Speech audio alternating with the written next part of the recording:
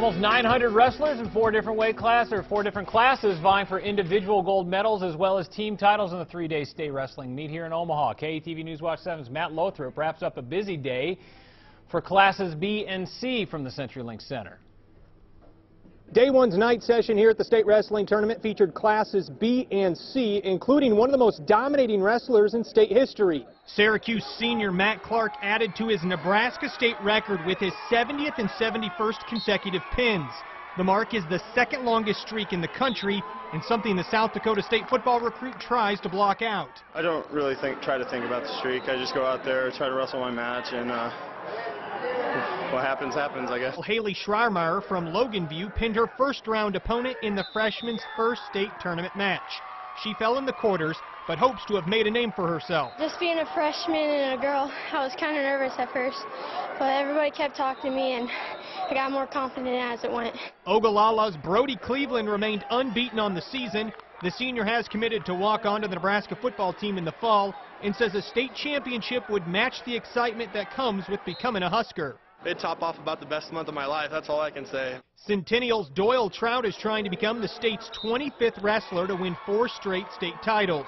He breezed through to the semis and is the only wrestler who can make it four straight this season. Everybody feels it when they're going for something big like this. The atmosphere and everybody's all eyes are on you.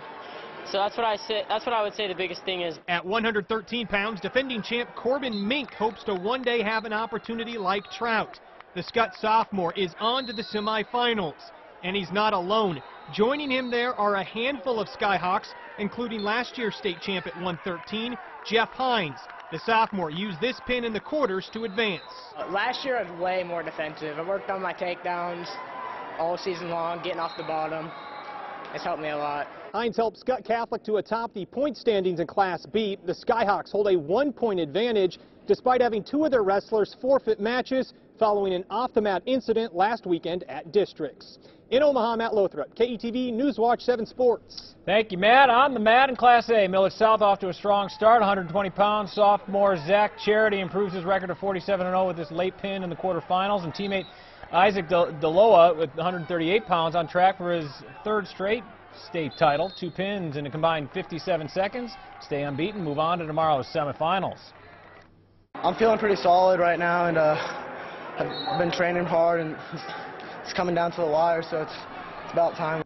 Yeah, Millard South leads the Class A team race. Terry Jube at 220, moving on to tomorrow's semifinals with a couple of victories today. Alexander Cloyd moving on as well from Millard South. He gets a pin at 195. And last year's team champ, Omaha North, in third place. Two wins for defending champ Ty Jackson at 160. He's now 47 and 3. And Markel Vaughn, also the defending champ, also advancing to the state semis. Senior now 30 and 1. And Devlon Whitcomb at 285, also advancing to the semifinals for the second straight year.